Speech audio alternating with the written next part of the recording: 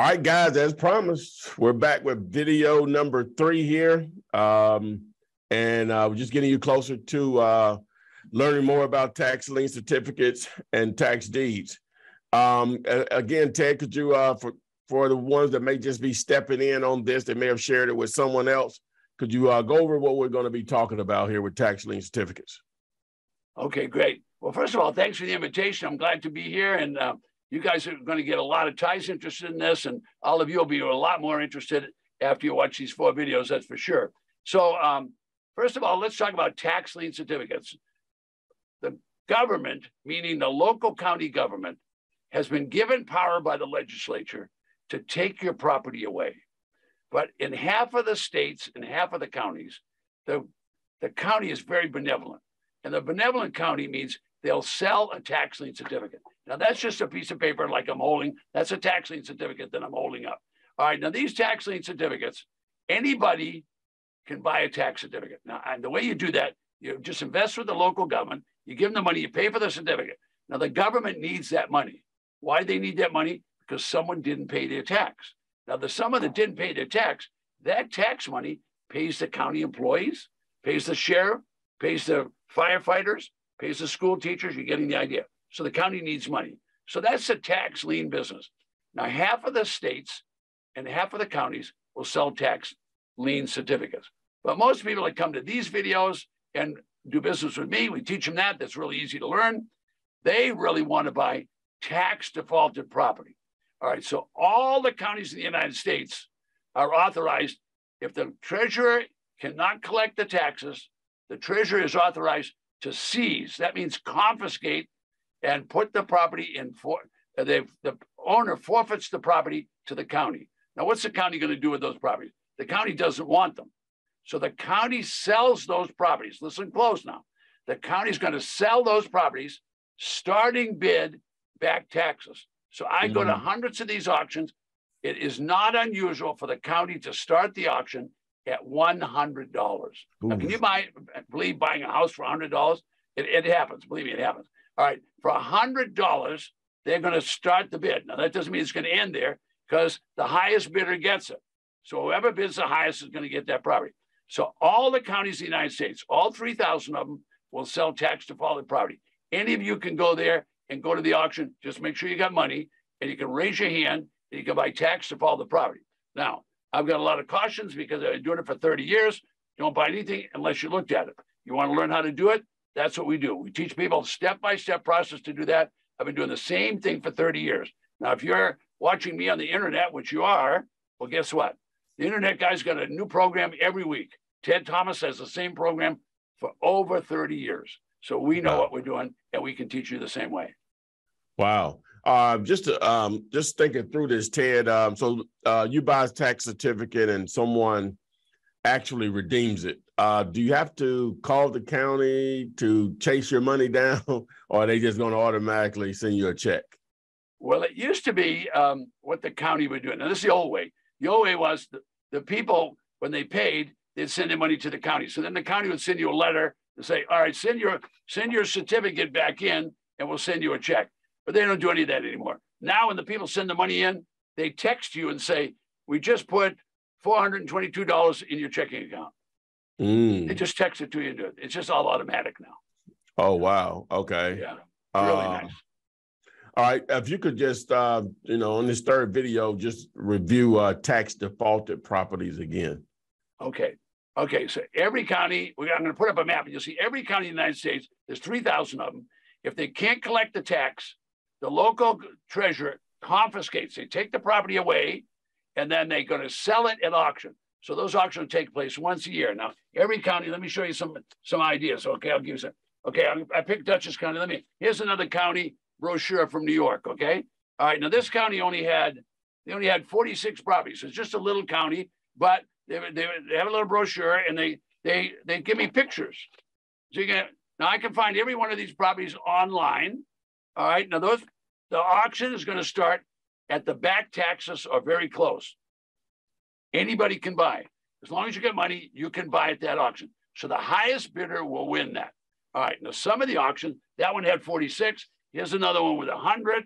Okay. Now, now we'll really exaggerate. here's here's a, a Los Angeles County. They've got 2,000 2,000 properties there to sell. Mm. You, you, you probably can't read that online, but but you're getting the idea. There's thousands of these properties are going to be sold at auction, and all the auctions are open to the public, and everybody knows what the bidding is. They can watch it all happen. So there's no hanky panky going on. Anybody can buy. You raise your hand.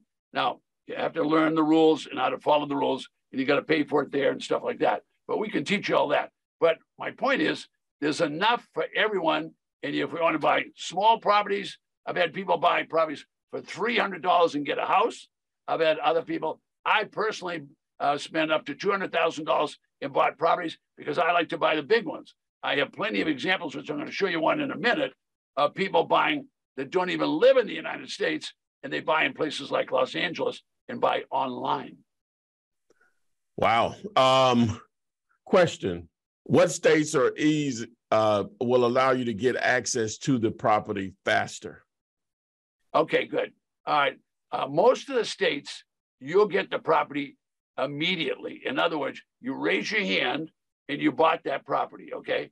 They're going to tell you, all right, you're now the owner of that property. The only thing that you have to wait for is you don't want to go there and, and start, you know, knocking down the doors or cleaning up because you have to wait till legally until you have an actual deed, like a piece of paper in your hand. You don't own it until the county records the deed.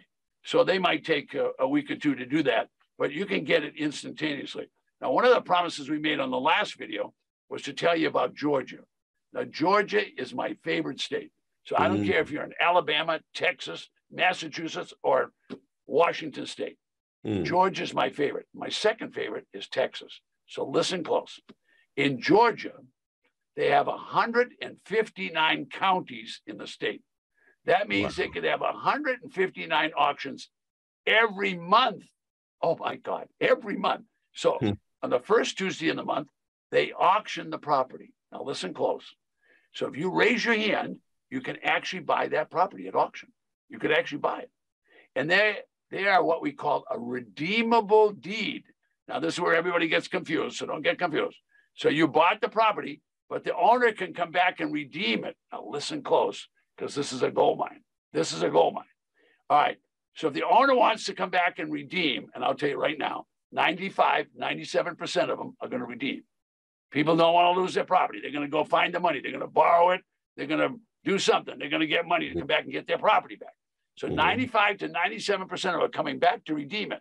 When they redeem it, they have to give you back 100% of your investment. I said 100% and a 20% penalty, not interest. All right, so now listen. I raised my hand. I bought a redeemable deed. The guy comes back in 10 days wants his property back. He has to give me 100% of my money plus 20%. Where are you going to make that kind of money? Where in your life are you going to make that kind of money? And there's wow. 159 of those auctions in there's 159 counties auctioning mm-hmm. those properties. In Texas, when they come back in to redeem, you make 25%.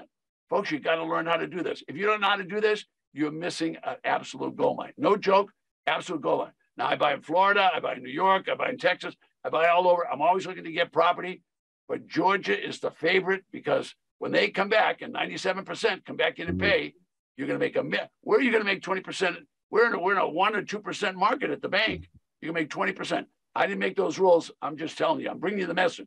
I hope you appreciate Ty and I bringing you the message.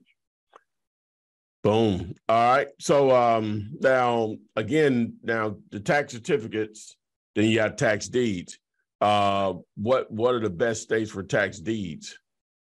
Okay, all the states are good for tax deeds. Uh, there's mm. only five states that do redeemable, like I told you in Georgia. All the rest of it, every state sells tax deeds, every single one. So if you want to stay home and just buy in your state, all right. For example, I live uh, right off the coast of Florida on a little island called Merritt Island. So where would I like to go? I like well, let's say I want to go to Orlando. That's 35 minutes away, 45 minutes. All right. In Orlando, once a year, they'll have a big tax lien certificate sale and they'll have 15,000 of those. But every 10 days, listen what I said, every 10 days, they'll have a tax deed auction. Tax deed means they're going to sell the property. So that they don't wait and stack them all up for, for a big auction. They just do it every 10 days to two weeks. So mm. I can go to a tax deed auction whenever I want. So the counties, it's up to the county. If they want to do one a year, they can do that. If they want to do one every single week, they can do that. There's more than you can handle. I can assure you, you can't you can't go to all the auctions just in Georgia. In your life, in your life, you can't do it. Okay.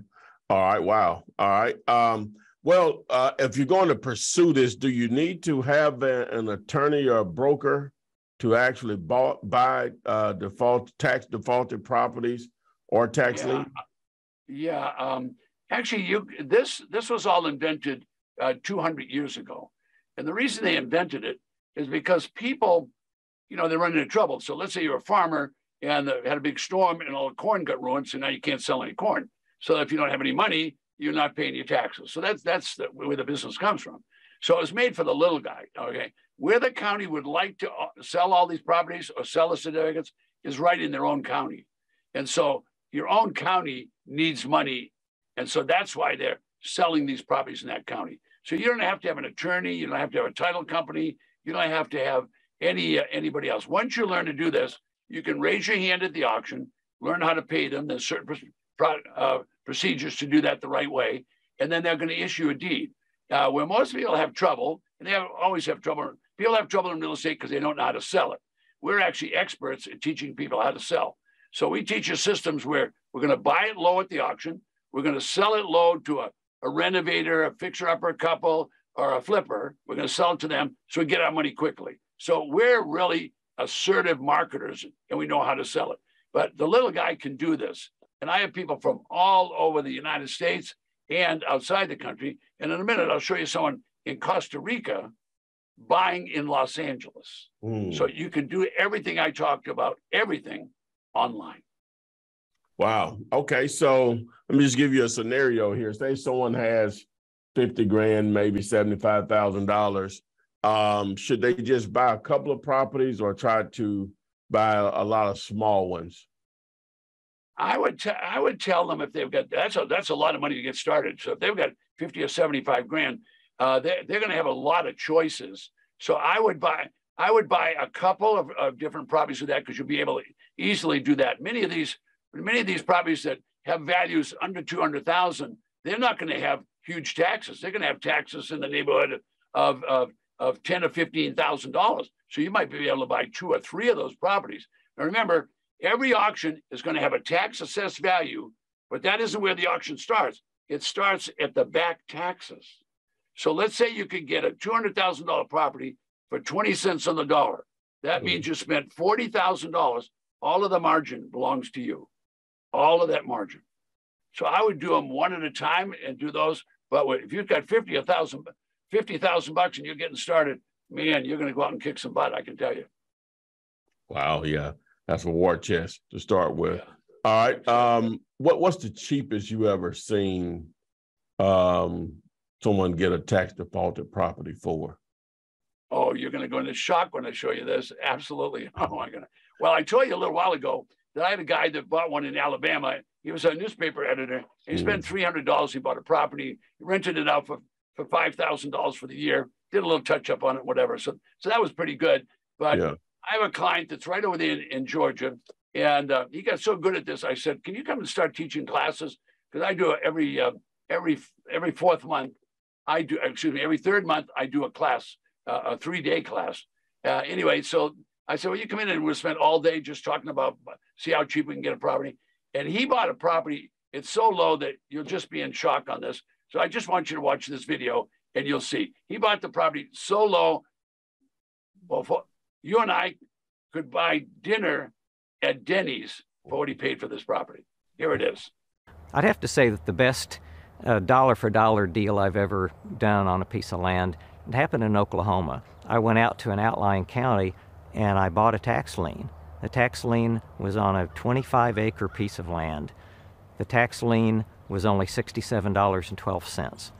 Uh, you'd think that nobody would ever abandon a piece of land for that small of a tax bill, but things like that do happen. And guess what? Those people never did pay that tax. They never redeemed that tax lien, and I ended up getting the tax deed to that property.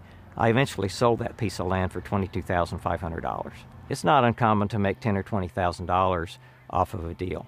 That he bought a property for $67 and oh. sold it for 20000 Oh, wow. Oh. So Ty, you and I don't get those deals, but my students get them. I don't get any of those deals. I always have to do what I te- what I teach. But that guy, sixty-seven dollars. We can't we can't get dinner at Denny's. You and I. Yeah. No way. Yeah. you get the idea. Uh, I got you. Um, so I would assume if um, if we uh, pick up a tax deed situation, now we're responsible uh, for the utilities, or am I thinking wrong on that?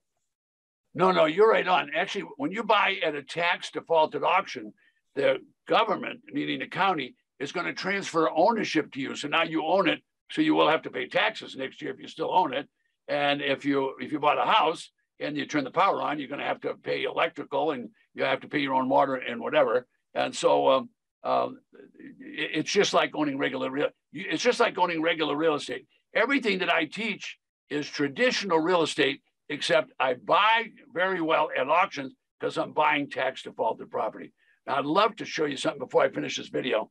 This gal came to me and uh, she started learning while she was in Canada, uh, but her husband was Spanish and from he, he lived in uh, Colombia. So they decided mm. they were going to compromise and live in Costa Rica. So she learned Spanish and they moved to Costa Rica.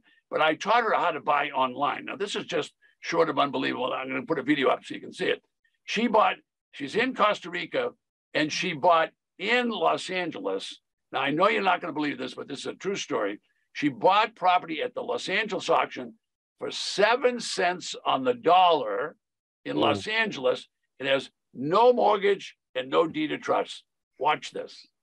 I came across Ted Thomas material sometime in July of last year, and it was just really good timing because we were just about at time looking for something with greater returns uh, something that will give us more time to spend uh, with family and enjoy our family more while uh, you know being able to live the life we've always dreamed of. Because I attended Ted's three-day workshop, I knew that LA has a two-day auction. What happens is whatever they don't sell on the first day, they sell half price on the second day.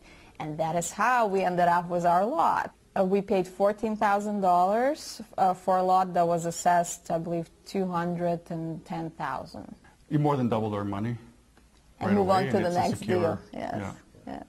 So we have two girls, almost 11 and 6 years old, and uh, this uh, new business will really give us more time to focus on our family, spend more time with our family, travel more, um, for instance, when we went to King County, we, we took the kids to Vancouver because that's where um, that's where our family is, so they could visit grandma. At the same time, we spent time with them. So it was a bit of a family vacation slash business trip, which is always nice. And uh, being able now to uh, work on this, not every day, seven, eight hours a day, but more kind of come and go basis, you have more free time to, to take family trips, to enjoy each other and make those memories that most people are just too busy, too stressed out to do when they simply, you know, employed somewhere and they don't have time for themselves and their loved ones. Well, there you have it. It's seven cents on the dollar. Folks, if you can buy for seven cents on the dollar, do I have a business you can make money with? Yes. yes. Uh, yes, you can. So um, I guess uh, many people asking like um, now someone is not paying their taxes if they have a mortgage or anything on the property. What happens to the mortgage um, if it goes into a uh, a tax lien, tax deed status, or whatever? What happens to the uh, mortgage on the property?